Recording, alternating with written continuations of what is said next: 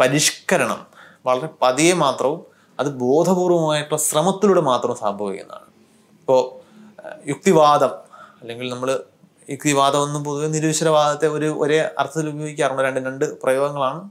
നിരീശ്വരവാദം എത്തീസമാണ്. നിങ്ങൾ ദൈവ അസ്തിത്വത്തെ നിരാകരിക്കുകയാണ് ചെയ്യുന്നത്. റാഷണലിസം അതല്ല.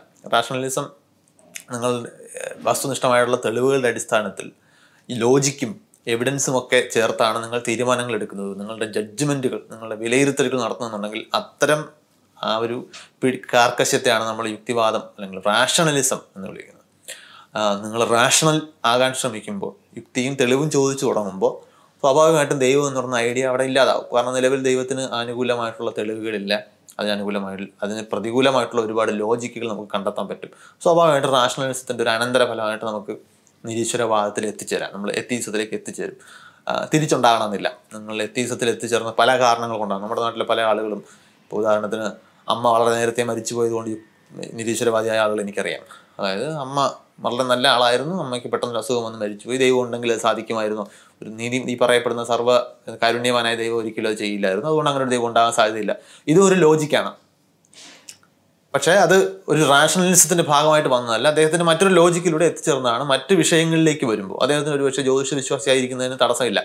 കാരണം ഗ്രഹങ്ങൾ മനുഷ്യനെ സ്വാധീനിക്കുന്നുണ്ടെന്നുള്ള തെളിവില്ലാത്ത മനുഷ്യന്റെ ഭാവിയെയും ഭൂതത്തെയൊക്കെ സ്വാധീനിക്കാൻ ഗ്രഹങ്ങൾക്ക് കഴിയും എന്ന തെളിവില്ലാത്തൊരു വാദത്തിന്റെ അടിസ്ഥാനത്തിലാണ് ജ്യോതിഷം അല്ലെങ്കിൽ ജ്യോത്സ്യം നിൽക്കുന്നത്. അത് മറ്റൊരു ലോജിക്കിലാണ് പ്രവർത്തിക്കേണ്ടത്. അതായത് റാഷണലിസത്തിലൂടെ ചിലപ്പോൾ നിങ്ങൾക്ക് ജ്യോതിഷത്തിലെ പ്രശ്നം കണ്ടെത്താൻ പറ്റും. പക്ഷെ നിങ്ങൾ ഈ പറയുന്ന എത്തിസത്തിലൂടെ ജ്യോതിഷത്തിലേക്ക് എത്തിക്കൊള്ളണമെന്നില്ല. രണ്ട് റൂട്ടാണ് ഞാൻ പറഞ്ഞു വന്ന വ്യത്യാസമാണ്. പക്ഷെ പൊതുവിൽ ഇത് മാറിയും തിരിഞ്ഞ് ഉപയോഗിക്കാറുണ്ട്. അതെന്ത് തന്നെ ആയാലും നമ്മൾ യുക്തിവാദത്തിലേക്ക് വരുമ്പോഴുള്ള പ്രശ്നം അതൊരു അതൊരു ഓവർ ദ നൈറ്റ് സംഭവിക്കുന്ന ഒരു ട്രാൻസിഷൻ അല്ല. അല്ലെങ്കിൽ അതൊരു ബൈനറി അല്ല. ഞാൻ ഇന്നലെ വരെ ഭയങ്കര അന്ധവിശ്വാസിയായിരുന്നു. ഇന്നു മുതൽ ഞാൻ ഭയങ്കര യുക്തിവാദിയാണ്. അങ്ങനെ പറയുന്ന ആളുകളെ പേഴ്സണലി ഞാൻ വളരെ സംശയത്തോടു കൂടിയേ കാണുള്ളൂ. കാരണം അങ്ങനെ ഒരു മാറ്റം ഉണ്ടാകില്ല എന്ന് ഉണ്ടാകാൻ സാധ്യത വളരെ കുറവാണ്. ഒന്ന് മാത്രമല്ല ഒരാളും ഒരു ദിവസം കൊണ്ട് യുക്തിവാദിയായി തീരുന്നില്ല. അതൊരു പ്രക്രിയയായിട്ട് നടന്നു പോയിക്കൊണ്ടിരിക്കണം കാരണം യുക്തി അതിന്റെ സ്വഭാവം കൊണ്ട് തന്നെ ഓരോ വിഷയത്തിലും ഓരോ രീതിയിൽ പിന്നെയും പിന്നെയും പ്രയോഗിക്കേണ്ട ഒന്നാണ്. അല്ലെങ്കിൽ നിങ്ങൾ റാഷണൽ ആയിരിക്കുക എന്ന് പറയുന്നത് ഓരോ സാഹചര്യത്തിനും പിന്നെയും പിന്നെയും നിങ്ങൾ അതിന്റെ റാഷണാലിറ്റി നോക്കേണ്ടതുണ്ട്. എല്ലാത്തിനും യൂണിവേഴ്സലായിട്ട് അപ്ലൈ ചെയ്യാൻ കഴിയുന്ന ഒരു റാഷണാലിറ്റി ഇല്ല. അങ്ങനെ അതുകൊണ്ട് തന്നെ നിങ്ങൾ ഹോമിയോപ്പതിയുടെ ശാസ്ത്രീയതയെക്കുറിച്ച് സംസാരിക്കുമ്പോൾ നിങ്ങൾ എന്തൊക്കെ ലോജിക്കാണോ ആവശ്യമായിട്ട് വരുന്നത്? എന്തൊക്കെ ശാസ്ത്രീയ അറിവുകളാണോ വേണ്ടി വരുന്നത്? അതല്ല നിങ്ങൾ മറ്റൊരു പ്രശ്നത്തെ സംസാരിക്കുമ്പോൾ. നിങ്ങൾ ഒരു ചികിത്സയിൽ നിന്നും മാറി നിങ്ങളൊരു എക്കണോമിക്സിനെ കുറിച്ച് സംസാരിക്കേണ്ടി വരുമ്പോൾ നിങ്ങൾക്ക് പ്രയോഗിക്കേണ്ടി വരുന്ന അറിവുകൾ വ്യത്യസ്തമായിരിക്കും. അപ്പോൾ എന്തൊക്കെ നിങ്ങൾക്ക് എന്തൊക്കെ ഫാക്ട്സ് എന്തൊക്കെ വസ്തുതകൾ അറിയാം? എന്നതുപോലെ പ്രധാനമാണ് ഏത് വസ്തുതകളാണ് എവിടെയാണ് പ്രസക്തമായത് എന്ന് തിരിച്ചറിയുന്നത്. അതൊക്കെ വളരെ ശ്രമകരമായിട്ടുള്ള കാര്യമാണ്. എല്ലായിടത്തും യൂണിവേഴ്സലായിട്ട് ഒരു ഫോർമുല വെച്ച് പ്രയോഗിക്കാൻ കഴിയുന്ന കാര്യങ്ങളല്ല.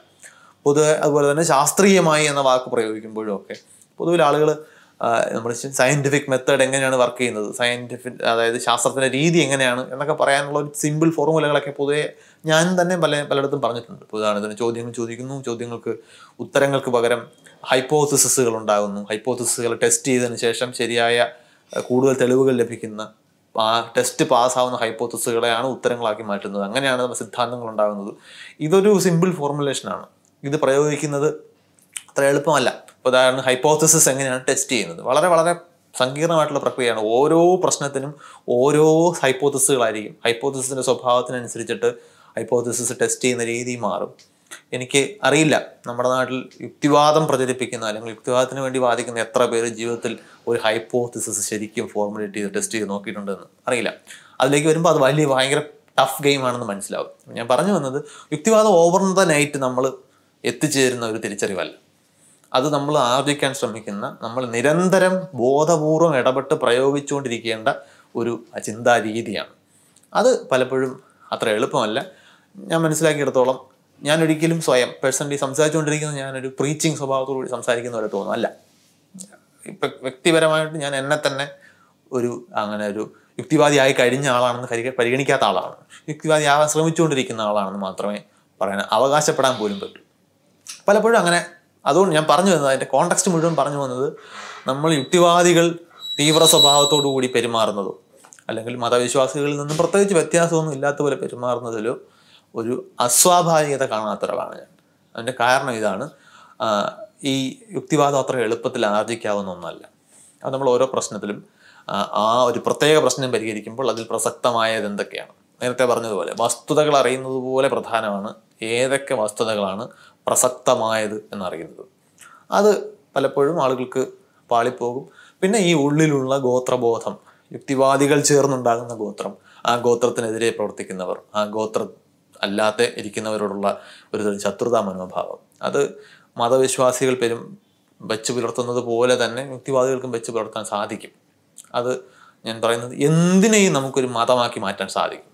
കാരണം അതിനൊരു ഒരു ഒരു ആരാധനയുടെ സ്വഭാവം വരണം. ഒരു ഹീറോ വർഷിപ്പിന്റെ സ്വഭാവം ഉണ്ടാകാം. അതിന് ഈ പറഞ്ഞതുപോലെ പ്രമാണങ്ങൾ ഉദ്ധരിക്കേണ്ടി വരും. ഏതൊക്കെ പ്രമാണങ്ങൾ എവിടെയാണ് പ്രയോഗിക്കേണ്ടതെന്ന് അറിയാതെ പ്രയോഗിക്കുന്നതുകൊണ്ട് സംഭവിക്കാം. പക്ഷേ അതൊരു സ്വഭാവം അത് നമ്മൾ ഏത് വിഷയത്തിലേക്ക് വന്നു കഴിഞ്ഞാൽ നമുക്ക് വേണമെങ്കിൽ ഒരു ഒരു ക്രിക്കറ്റ് ക്രിക്കറ്റിനെ വേണമെങ്കിൽ മതമാക്കി മാറ്റാം. പലപ്പോഴും അങ്ങനെ നമ്മൾ പ്രയോഗിക്കാറുണ്ട്. ക്രിക്കറ്റ് ഒരു മതമാണെങ്കിൽ സച്ചിനാണ് ദൈവം എന്നൊക്കെയുള്ള പ്രയോഗങ്ങളുണ്ട്. അത് നമ്മളൊരു ആലങ്കാരികമായിട്ട് പറയുന്നതാണെങ്കിൽ പോലും അതിനകത്ത് അത്തരം ഫാൻ ഫൈറ്റുകൾ എന്ന് പറയുന്നത് എങ്ങനെയാണ് ഉണ്ടാകുന്നത് മോഹൻലാൽ ഫാൻസ് മമ്മൂട്ടി ഫാൻസും തമ്മിൽ ലിറ്ററലി അവർ പ്രശ്നങ്ങൾ ഉണ്ടാക്കാറുണ്ട്. അതിന്റെ കാരണം ഇങ്ങനെയാണ്. അതൊരു മത സ്വഭാവം കൈവരിക്കുന്നു. തീർച്ചയായിട്ടും അത് യുക്തിയുടെ അടിസ്ഥാനത്തിൽ. അത് എന്താണ് യുക്തി എന്ന് ചോദ്യത്തിലേക്ക് വരുമ്പോഴത്തേക്ക് അത് നമുക്ക് ഡീബങ്ക് ചെയ്യാൻ പറ്റും. പക്ഷെ പൊതുവിൽ അന്ധവിശ്വാസത്തിനെതിരായിട്ട് പറയുന്നതെല്ലാം യുക്തിയാണ് എന്ന് നമുക്ക് തോന്നിയേക്കാം.